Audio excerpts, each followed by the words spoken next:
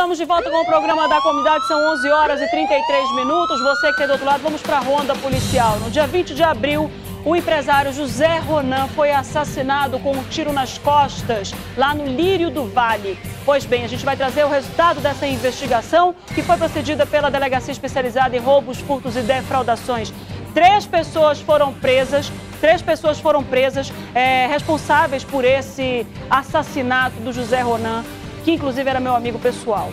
Então a gente vai acompanhar aí todas essas investigações, que foi é, uma investigação em tempo recorde. O diretor está me informando agora, vamos com imagens ao vivo para saber. Daqui a pouco a gente vai trazer essas informações das investigações do José Ronaldo, empresário, mas a gente vai trazer agora as informações aqui da posse do deputado estadual Davi Almeida, que vai assumir o governo do estado. A gente já tem o presidente do Tribunal de Justiça, o desembargador Flávio Pascarelli, que está ali ao lado do atual presidente da Assembleia Legislativa, Abdala Frache. Do outro lado, a gente acompanha ali o Davi Almeida. Nesse momento, eles estão cantando o hino nacional para justamente é, dar prosseguimento à posse do governador Davi Almeida.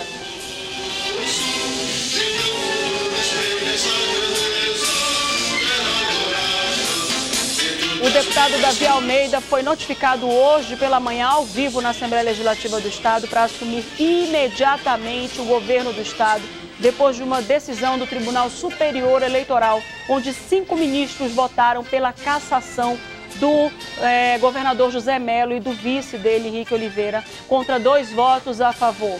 Você, nós vimos aí as imagens do momento exato em que ele foi notificado pelo Tribunal Regional Eleitoral. Esse que está em pé, oficial de justiça. Ele foi regularmente, legitimamente notificado para assumir imediatamente o governo do Estado.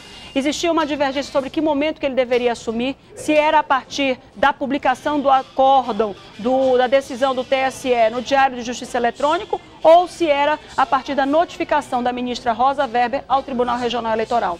Foi determinado que ele assumiria o governo do Amazonas a partir da notificação do TRE, determinação esta assinada pela ministra Rosa Weber, que era relatora do processo. Tribunal Regional Eleitoral, depois que recebeu essa notificação do TSE, providenciou imediatamente a notificação do presidente da Ali, então Davi Almeida, para que ele assumisse imediatamente. Ele fez os primeiros discursos logo pela manhã. Alguns deputados da base aliada também fizeram um discurso, dando algumas sugestões de como ele deveria levar essa administração, já que o deputado ah, Davi Almeida está no terceiro mandato de deputado estadual, nunca teve nenhum cargo, nenhum mandato no Poder Executivo, sempre foi no Poder Legislativo mas ele vem aí é, dizendo no seu discurso que ele iria imprimir a marca dele pessoal nessa administração, que deve durar três meses, já que na decisão que determinou a assunção dele ao cargo de governador do estado do Amazonas,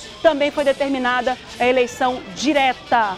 Eleição essa que deve acontecer no primeiro domingo do mês de agosto em primeiro turno e em segundo turno no último domingo do mês de agosto. A gente acompanha que acabou o, o hino nacional, todos sentam nesse momento e o cerimonial da Assembleia Legislativa vai dar início a essa cerimônia de posse do governador do Amazonas. Secretário-Geral da Assembleia Legislativa, deputado Sabá Reis, para proceder à leitura do ofício número 83 2017 do Gabinete da Presidência do Tribunal Regional Eleitoral do Estado do Amazonas.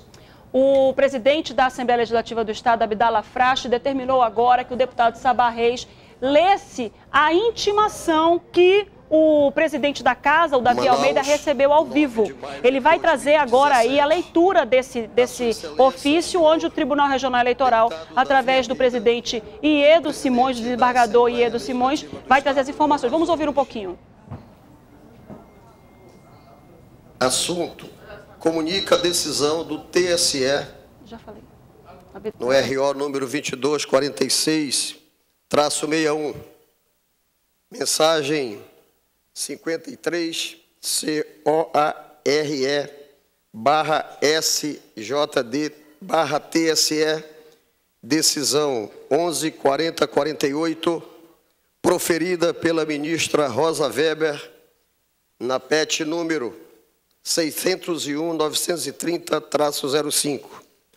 Senhor presidente, em cumprimento à decisão proferida pela ministra Rosa Weber, relatora da petição número 060 1930-05 de 2017.6 000000 Comunico a Vossa Excelência que o Tribunal Superior Eleitoral manteve a decisão deste regional que determinou a cassação dos mandatos do governador e do vice-governador do Estado do Amazonas no âmbito do recurso ordinário número 2246-61 de 2014, classe 37, Manaus, Amazonas. Diante da vacância dos cargos, a chefia do Poder Executivo deve ser exercida pelo presidente da Assembleia Legislativa, a teor do que determina o artigo 51, parágrafo único da Constituição do Estado do Amazonas. Artigo 51, parágrafo único. Em caso de impedimento do governador e do vice-governador, ou vacância dos respectivos cargos, serão sucessivamente chamados ao exercício da chefia do poder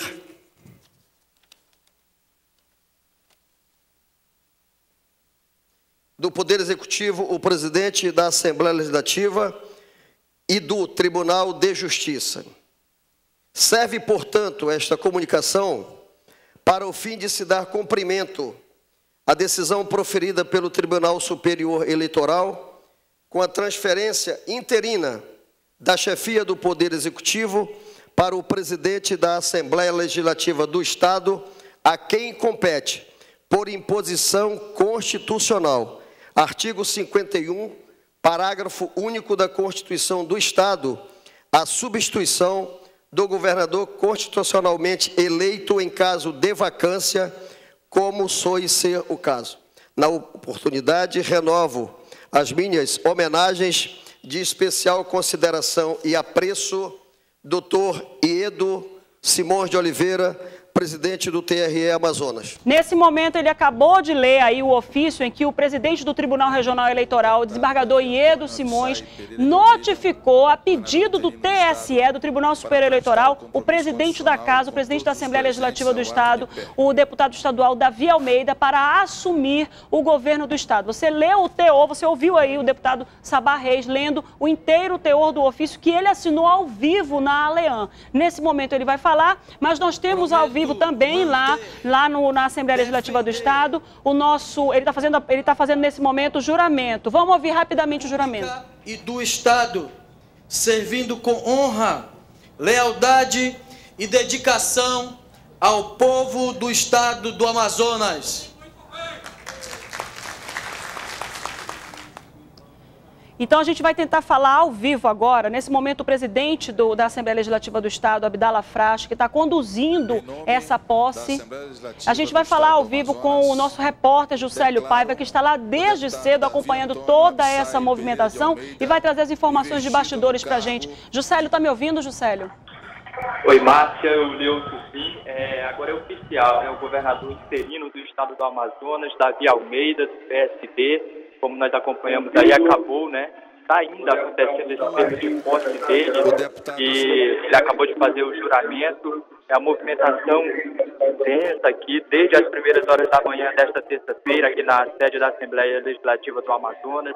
Aí desde ontem, né, mas começou essa movimentação toda depois da decisão do, do TSE que encaminhou aí o ofício para o TRE para que possa o mais rápido possível, né, o governador interino que agora Às 11 horas. Momento, e acontece aí o termo de posse. Novamente ali o, o deputado Sabarreis faz a leitura ali do termo. É, a TV ela acompanha ao vivo, aí os passos são os seguintes, mas, mas daqui a pouco, quando acabar o termo aqui de posse, o governador interino Davi Almeida vai descer e vai conceder né, a primeira coletiva à imprensa, onde vai falar, ele que já se manifestou aqui no plenário, que ele é contra a decisão do TCE que bloqueou ontem à noite ainda mais de 230, né? É, bloqueou, na verdade, as contas do governo do Amazonas depois de uma movimentação de mais de 230 bilhões de reais nos quatro dias aí depois que foi anunciada a cassação do ex-governador do Amazonas, José Mello. Então, ele deve se manifestar sobre isso e quais serão os os próximos passos dele a partir de agora como governador interino do Amazonas, Marcelo Marques. Juscelio Paiva, muito obrigada. O Juscelio está trazendo informações ao vivo para a gente sobre esse dia histórico em que o presidente da Assembleia Legislativa do Estado do Amazonas assume o governo do Estado depois da cassação dos mandatos do governador José Melo e do vice Henrique Oliveira.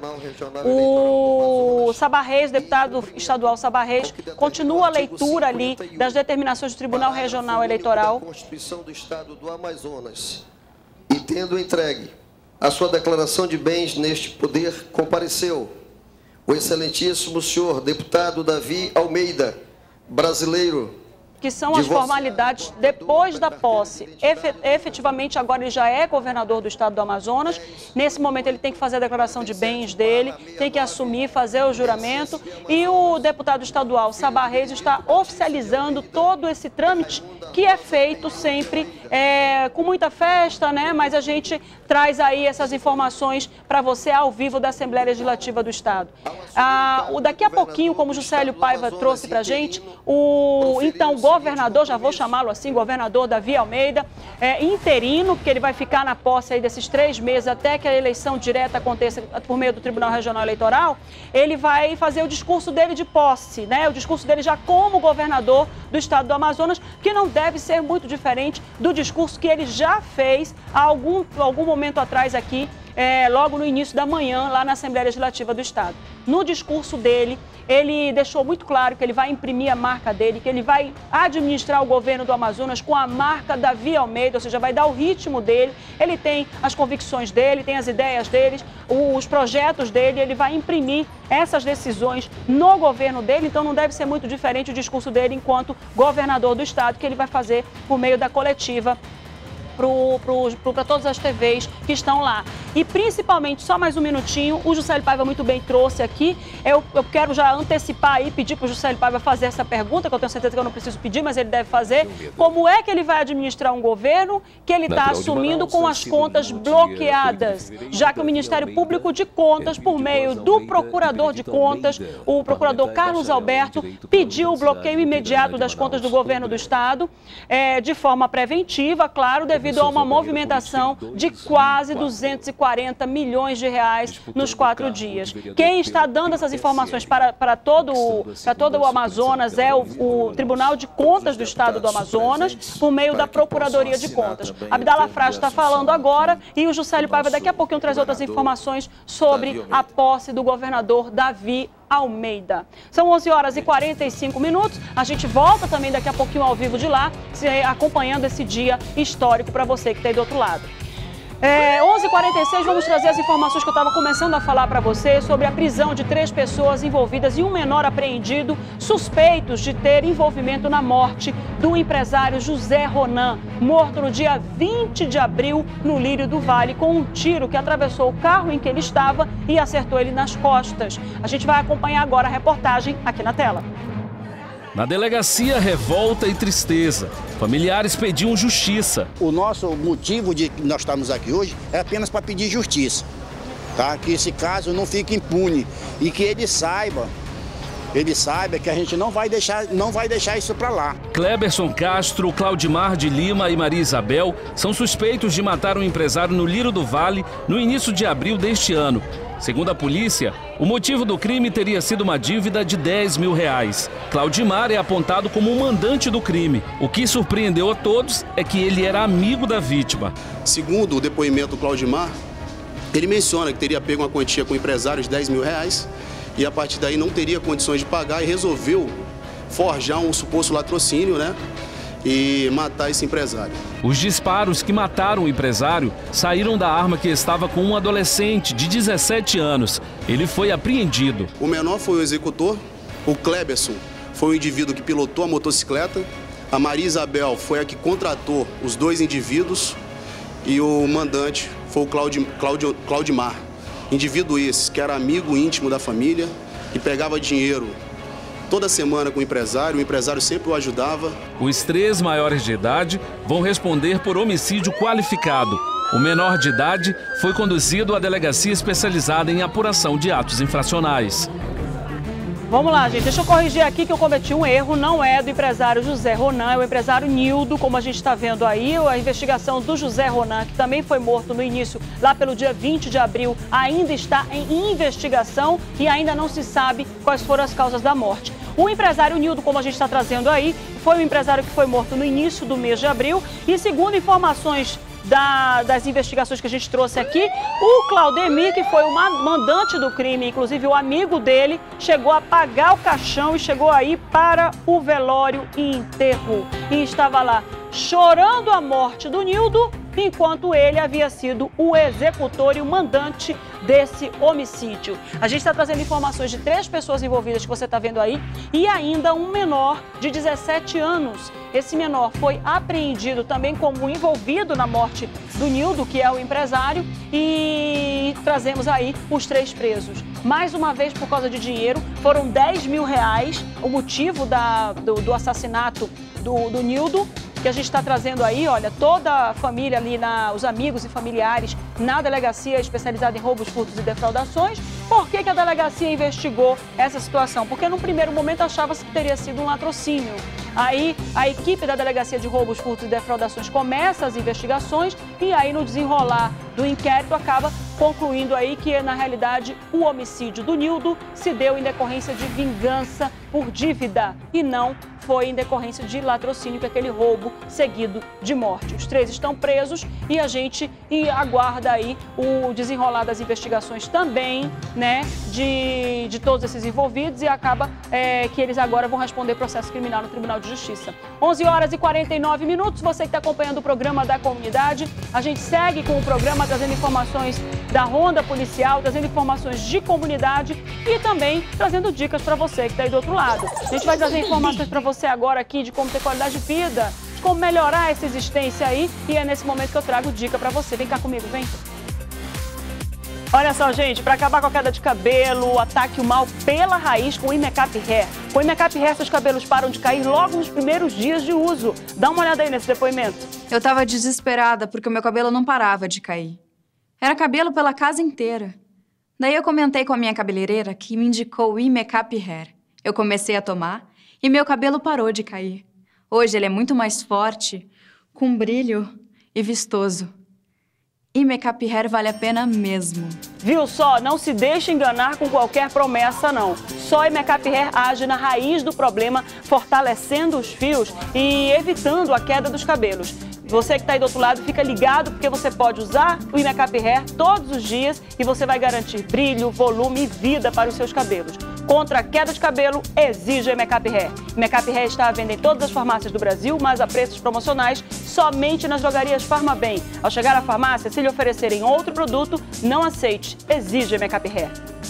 São 11 horas e 51 minutos. Você que está do outro lado acompanhando o programa da comunidade, a gente ainda vai trazer nessa edição do nosso programa as informações da Assembleia Legislativa do Estado do Amazonas, onde o então presidente da Aleana, nesse momento, salda os deputados da base aliada, né? A gente está vendo agora ele abraçando o Dermilson Chagas, é, deputado estadual da base aliada, o doutor Carlos é, Gomes, que também está assinando ali o termo de posse, sob o comando do agora presidente da Alean, Abdala Frache, e o deputado estadual Davi Almeida, é o então novo governador do estado do Amazonas. E tem uma batalha dura pelos próximos três meses ao assumir o estado e fazer uma administração que, segundo ele mesmo, vai ser uma administração é, com seus moldes, com as suas decisões, uma administração em que ele vai imprimir a, a sua gestão, a marca dele nessa administração que deve durar uns três ou quatro meses. Deve durar uns três meses,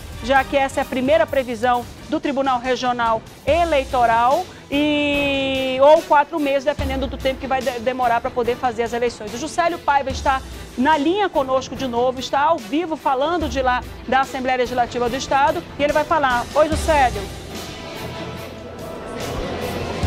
É isso mesmo, Marcelasmar, acabou aí né, o termo de posse agora do governador interino Davi Almeida e todo mundo, a imprensa toda aguarda ele aqui. Já a movimentação será a primeira coletiva do Davi Almeida, agora governador interino do Amazonas. Ele vai falar agora sobre os planos. Deve ficar pelo menos no governo, pelo menos por mais 60 dias aí, até essa decisão de uma nova eleição para definir o novo governador do Amazonas. E ele falou agora há pouco em discurso mais cedo também sobre as novas metas, o que pretende fazer aí é, com relação ao nesses dias que deve ficar no governo interino aqui do Amazonas. Nós vamos continuar por aqui, vamos voltar daqui a pouquinho ao vivo, já com a coletiva do agora governador interino do Amazonas, Davi Almeida.